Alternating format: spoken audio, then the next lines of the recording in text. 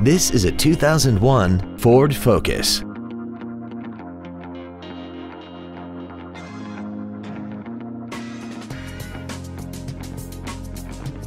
All of the following features are included. A multi-link rear suspension, air conditioning, full power accessories, a CD player, a passenger side vanity mirror, a passenger side airbag, a split folding rear seat, a rear window defroster, a keyless entry system, and aluminum wheels.